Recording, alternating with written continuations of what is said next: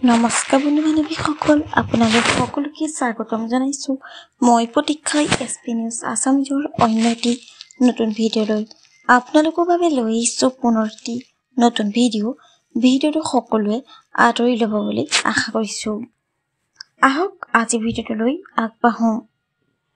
অসমৰ জনপ্ৰিয় অভিনেতা দীপাংকৰ ৰয় আৰু জনপ্ৰিয় অভিনেত্ৰী হিমাক্ষী কলিতাৰ কেইখনমান ফটো বৰ্তমান ছ'চিয়েল মিডিয়াত ভাইৰেল হৈ পৰা দেখা গৈছে।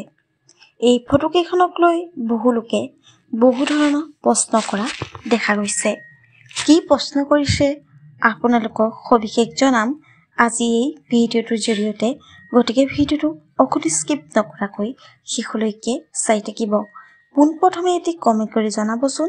জনপ্ৰিয় অভিনেত্ৰী হিমাক্ষী কলিতা আৰু জনপ্ৰিয় অভিনেতা দীপাংকৰ ৰয়ক আপোনালোকে কেনেকুৱা পায় তেওঁ অভিনয় চাই কেনেকুৱা পায় নিশ্চয় এটি কমেণ্ট কৰি জনাব।